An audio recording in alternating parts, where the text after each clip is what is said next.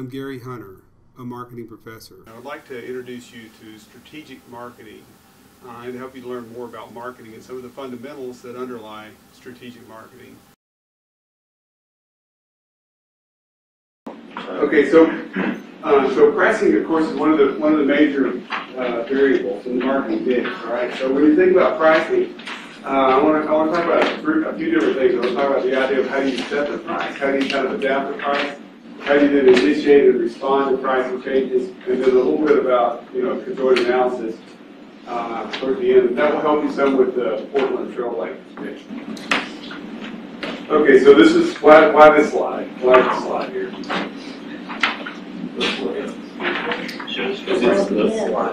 Yeah, it's part of the marketing mix. So we know that we change something about price. It has effects on all sorts of other things, and what are all all sorts of other things. So it's the other 13 variables that are out there, right? So these other 13 variables kind of relevant to any changes or things we, we do with the price and sales price. So price has a lot of labels. So when you think about prices, all these kinds of things like rent, fees, uh, premiums, retainers, commissions, all these all these types of things, bribes, interest, tax.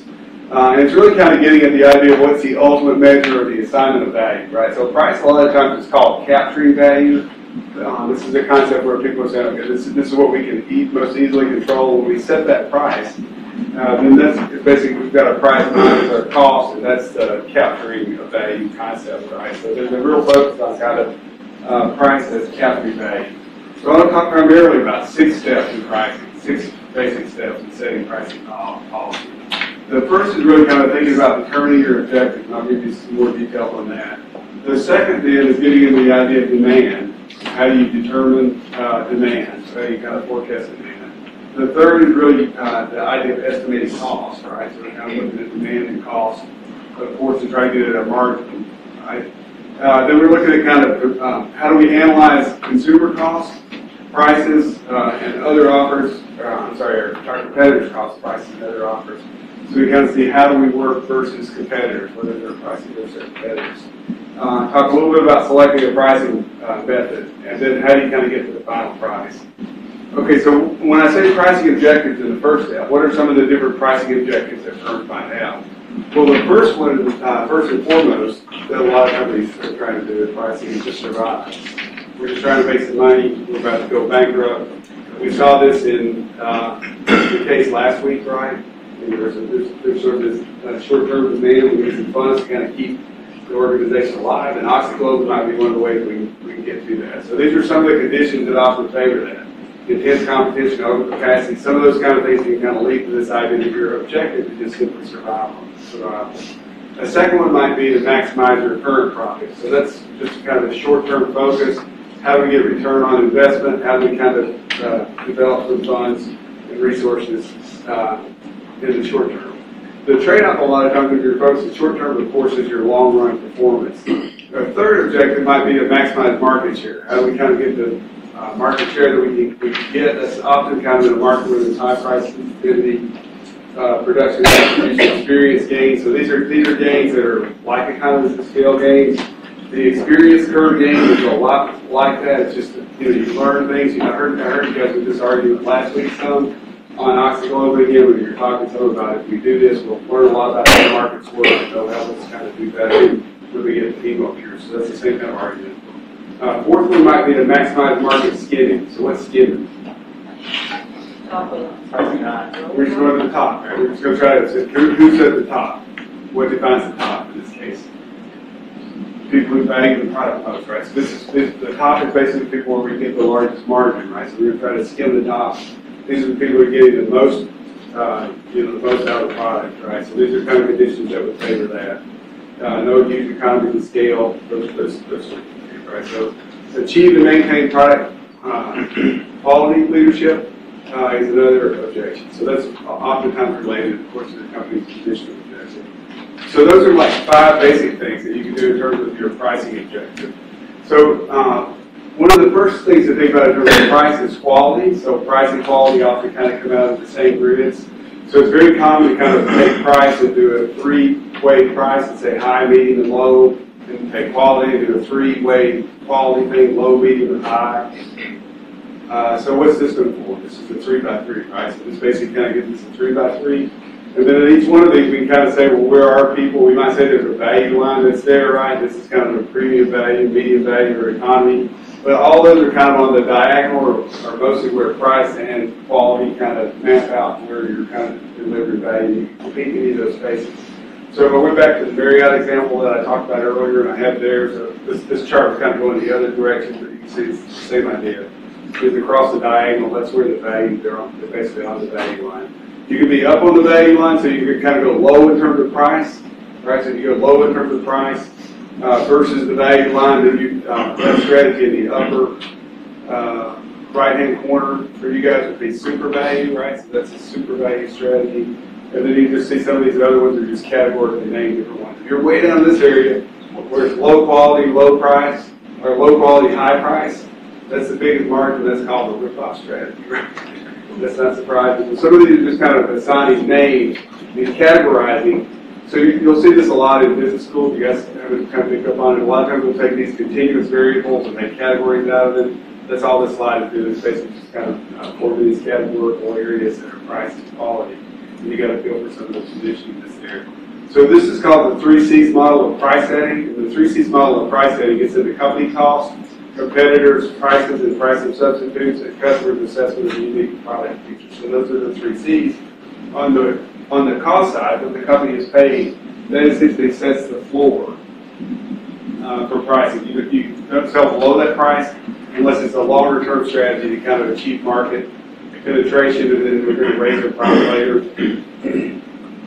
what company gets accused of this kind of pricing strategy a lot?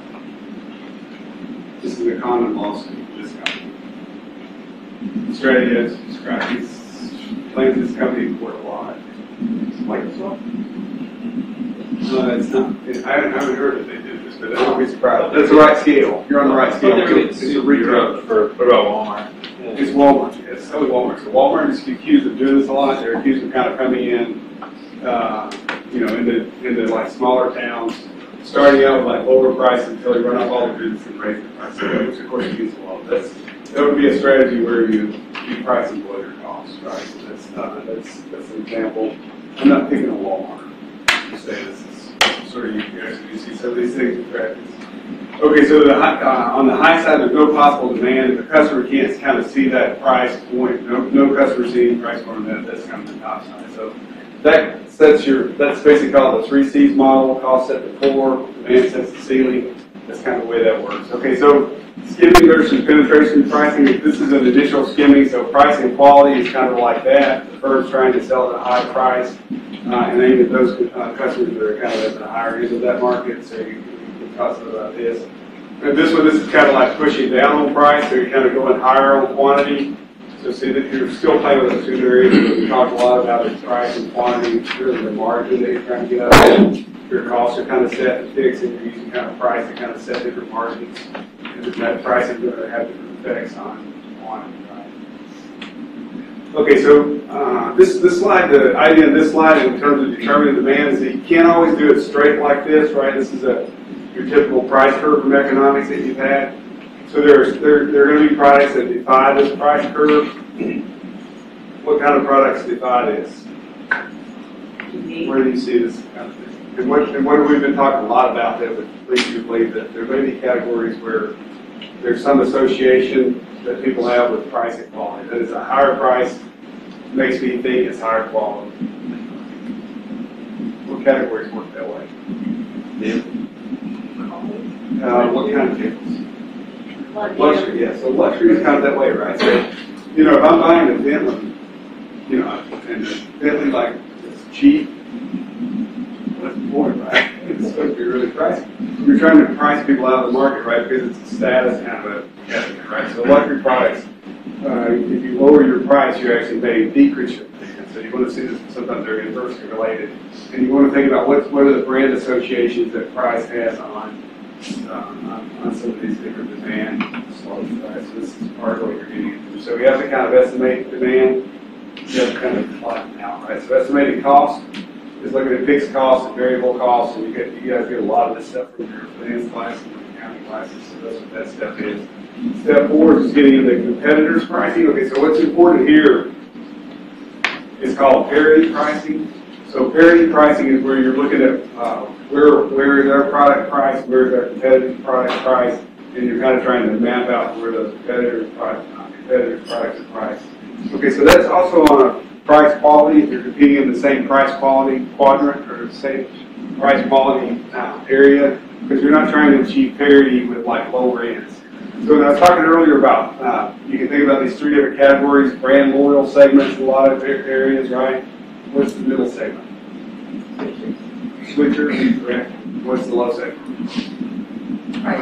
Price conscious, right? So, so, so you're, you're always, you're, uh, so parity pricing is versus other people who are competing in the same space. You're, you know, if you're competing kind of in the brand loyal space, you're trying to achieve parity pricing versus other companies that are competing or other brands that are competing in if they in that upper end brand loyal space, right? If you're in the price conscious and you're trying to get parity pricing with them, which basically means I go back to the bottle of water example earlier, right? If you've got a 16 ounce bottle of water, you're in the brand loyal space, here's a brand loyal bottle of water. What space is that? See, see how well you guys do that. Smart water? They might be, yes, smart water is pretty close. But I was thinking the entire. Voss, Voss. Uh, with Voss. There. Okay, so I was thinking more Evian. Oh, there you go, Evian. What's, what's Evian spelled backwards? Okay, so is very much sort of, so that's, that's what you're doing. That- So when you think about these categories, you're in that space. What about, the sign? I think the brand loyal, where do you guys think they probably are? They're probably switchers, right? They're probably kind of in that switcher category, so if I get a better deal on another brand that's kind of in this space, I might go for that. And then, uh, with bottles of water packaging, I found that's a pretty good indicator of where they are. That's Nestle bottle, but I know that, I know that bottle, I know the, the packaging on it is weaker than this packaging, right? So it has Nestle and stuff like that. You'll see those, those, those are still brand, that's a high-end brand, this is a high-end brand. Uh, but it's, um, so it's probably operating switchers, but when you start getting to the bottles that are like that, to me, that feels more price conscious. All the price conscious ones are gonna go like the more flimsy packaging and stuff like that, right? So you, so those are the kind of areas. So you're trying to achieve parity on sixteen ounce bottles versus other people that are operating the same price qualities. Why they say conscious.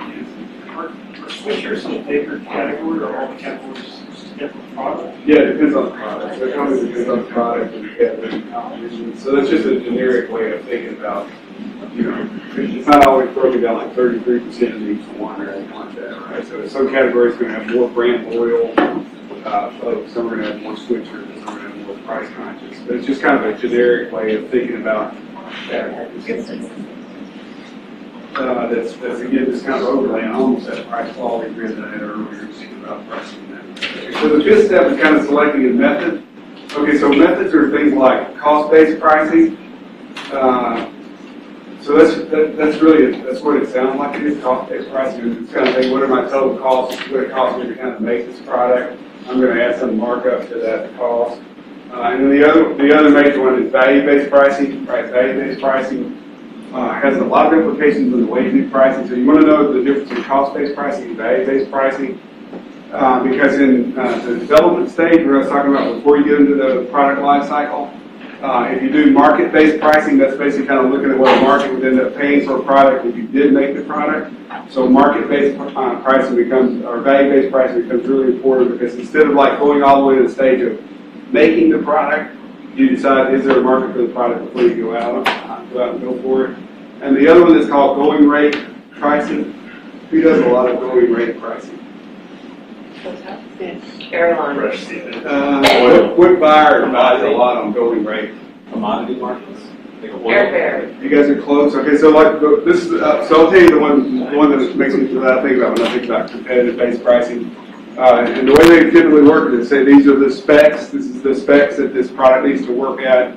Uh, what we're trying to do is uh, we're going to go with the company that gives us the lowest bid for these specs, right? Uh, so um, my experience with, uh, with uh, was with the Army, right? And the uh, competitive based pricing product that I thought about the most was a parachute. The first time I jumped with one, because it was basically like a chute that's built by the lowest cost provider, right? It's sort of like that's not what you're looking for in a parachute necessarily as a consumer. But the government does a lot of like spec-based pricing, so that's what you're doing. A lot of times you're doing you know, that, that kind of stuff, right? So cost-based pricing versus value-based pricing are the two basic ones that you want to think about in terms of the differences of those. So when you look at cost-based pricing, you're just calculating the cost plus, and on the value side, you're kind of calculating it based on perceptions that customers have or consumers have of what the product might be worth. Okay, so that really brings you into this, this slide. So this slide's a fab slide. So all those concepts kind of build into this. Uh, you can kind of see how this builds into the idea of, of this slide. Uh, but the major part or the major build that this slide has versus what we talked about at this point, we talked kind of the, uh, the idea of perceived value and the way people think about it being kind of the value-based price. The value in exchange uh, is kind of uh, beyond that. But the main part here, the main build is the value of use.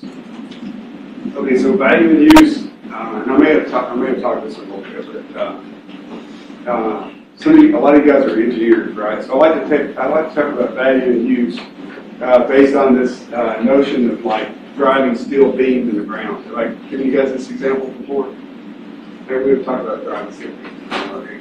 Okay, so, uh, if, if I'm like building buildings and stuff like that, right? I'm gonna build a new building, a civil engineering kind of guy. How many guys are civil engineers? Many guys are civil engineers. Okay, so when I drive these uh, beams in the ground, right? Uh, I, I've got to bring in this big construction uh, device to drive a steel beam into the ground. What's that? What's the? Do you know what that device is called? That hammers it into the ground? Pile driver? Pile driver. That's totally a pile driver. You guys have heard about pile driver before. These things actually exist, right? So if I'm going to drive this beam in the ground, I've got this pile driver to drive the beam into the ground. They're going to build my building around this, these beams that I'm driving into the ground. Between the hammer and the beam, the top of the beam, I'm going to put a pad there, right? That pad, if I put that pad between the hammer and the beam, why, do I- why do I do that? to keep from damaging the, the impacts will keep from damaging the inside. Yeah, good. So I don't, I don't want to damage either the beam or the handle, right? So the pad kind of helps diffuse this, so it kind of presses it down and pushes it into the ground. Okay, so I can design that pad in different ways, right? If I take that pad and I make that pad a really good pad that's durable and lasts a long time versus one that's not very durable, how does the person who's, the construction company get value out of the durable pad? And. What are some of the, what are some of the, yeah, value in use, but how does that value in use work? What are some ways they get value out of it? By lasting longer, what is it, what do You you don't have get? downtime. You don't have downtime, okay, so you don't have downtime, so you don't have to pay the guy who's operating the pile driver, right? The, the construction guy who's on there, who else do you not have to pay? Acquisition costs, transportation. Yeah. Replacing it. You don't have to pay for replacing it as much, right? So you, so you start getting all these costs, you start adding up, what do those costs add up to? That's the idea of value in use.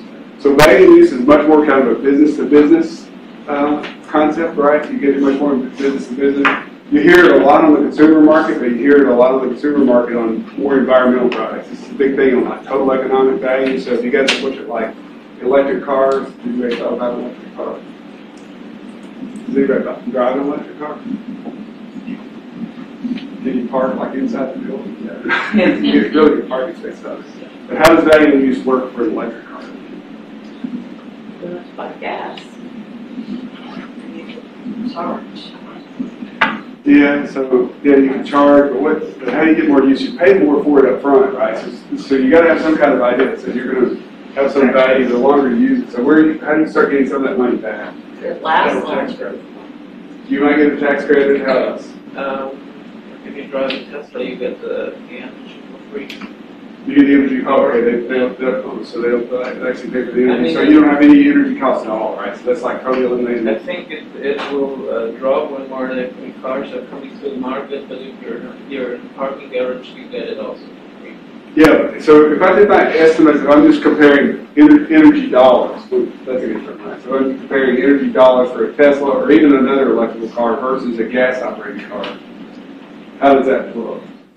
It's a lot less, right? So it's, it's a lot less, so I'm not gonna get that value back until I've driven the car a certain period of time, right? That's, that's what value and use is getting at, so you guys have totally got it, right? That's totally why you get it in terms of like pile drivers and when you get in terms of electric cars. So that's what this, that's what this slide is trying to get at, is when you're looking at different types of value, you want to think beyond just kind of like economic value and think about things like value and use.